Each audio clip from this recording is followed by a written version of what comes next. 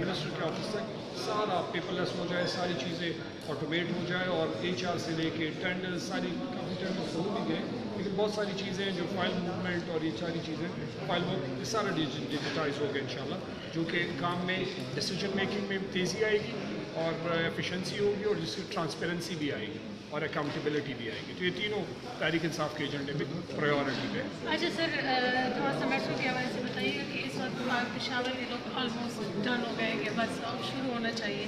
کیا پلان ہے؟ کب تک شروع کریں گے؟ پروگرام سر آپ سے ریلیونٹ چیز ہے سر وہ بتا دیں کہ ابھی بیس بسیں جو پرسوں آئی ہیں سر کب تک چلنے کا ارا- ارادہ ہے؟ چلوانے کا یہ دونوں چلائیں گے سر لیکن دیکھیے بی آر ٹی بالکل ہمیں احساس ہے۔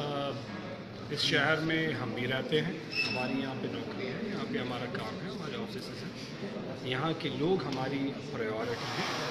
اور میرے ایک طرف، دوسری طرف جو ہمارے دونوں ناظم اور منسٹر کھڑے ہیں، یہ اسی شہر سے تعلق رکھتے ہیں۔ تو ہمیں احساس ہے کہ یہاں پہ پرابلمس ہیں۔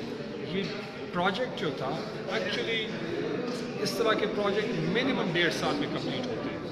ہماری خواہش تھی اور کوشش تھی کہ اس کو ہم ٹائم سے پہلے کمپلیٹ کر پائیں، لیکن ایک اچھی خواہش کا ہونا کوشش کرنا، اس میں کوئی قتل نہیں ہے۔ جہاں تک ابھی بی آر ٹی کی بات ہے، اس پہ بہت تیزی سے کام جاری ہے۔ میں نے آج بھی اس پہ میٹنگ کی ہے۔ ٹرانسمیشاور D G P D A local bodies اور سیکٹری اس کے ساتھ ٹرانسپورٹ کے ساتھ اس پہ کام تیزی سے جاری ہے۔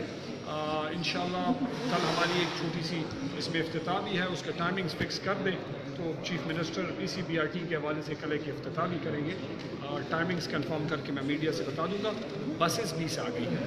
اور ہماری کوشش ہے کہ مارچ کے اینڈ تک بی آر ٹی کی جو سافٹ اوپننگ ہے، ہم کر دیں کوریڈور کے جو باہر کے دونوں طرف جو روڈز ہیں، اس کو ہم کھول دیں کھولے تو ہوئے، لیکن یہ ٹریفک کنجیشن چھوٹے موٹے کام جو ہے، اس کو ہم بالکل کلیئر کر دیں. کوریڈور کے اندر بھی ہم بس رن کریں گے انشاءاللہ. اس میں چھوٹے موٹے جو کام ہوں گے، وہ چلتے رہیں گے ساتھ. لیکن مین جو کام بس سٹاپس جو ہیں، یا اس کو ہم سٹارٹ کر لیں گے انشاءاللہ.